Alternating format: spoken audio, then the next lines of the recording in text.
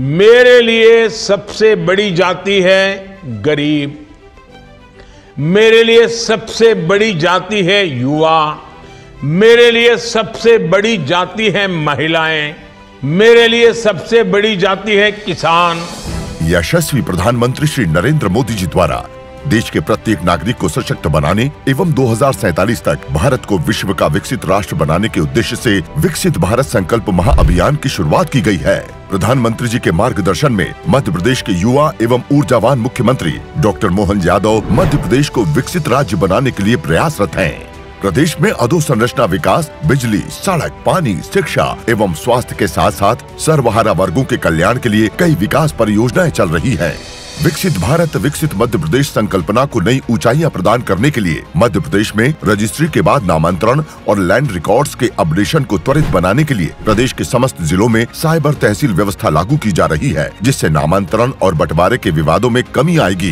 काल गणना का केंद्र रहे बाबा महाकाल की नगरी उज्जैन में भारतीय काल गणना के अनुरूप सूक्ष्म, शुद्ध त्रुटि रहित एवं प्रामाणिक काल परिमाण के लिए विश्व की पहली वैदिक घड़ी की स्थापना की जा रही है, जिससे विश्व में भारत की प्राचीन सभ्यता और पहचान की पुनर्स्थापना होगी। मध्य प्रदेश में जन कल्याण के लिए किए जा रहे कार्यों में अधोसंरचना विकास के अंतर्गत करीब 6,400 करोड़ रुपए की चार नई सिंचाई परियोजनाएँ प्रारंभ की जा रही हैं, जिससे लगभग बहत्तर हज़ार हेक्टेयर भूमि सिंचित होगी और प्रदेश के जनजाति बाहुल्य अनूपपुर डिंडोरी एवं मंडला जिलों के बड़ी संख्या में किसान लाभान्वित होंगे। विद्युत व्यवस्था सुदृढ़ीकरण के लिए करीब 800 करोड़ लागत वाले छह नए विद्युत पावर सब स्टेशनों की स्थापना की जा रही है। इन नई परियोजनाओं से प्रदेश के 11 ज़िले लाभान्वित होंगे।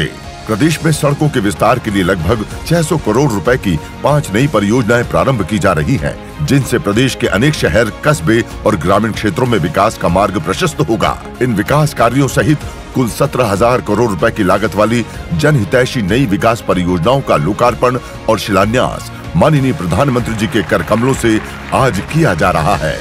मध्य प्रदेश, प्रधानमंत्री जी के विकसित भारत दो के राष्ट्रीय संकल्प को साकार करने के लिए राष्ट्र निर्माण में अपना निरंतर योगदान देने के लिए दृढ़ संकल्पित है।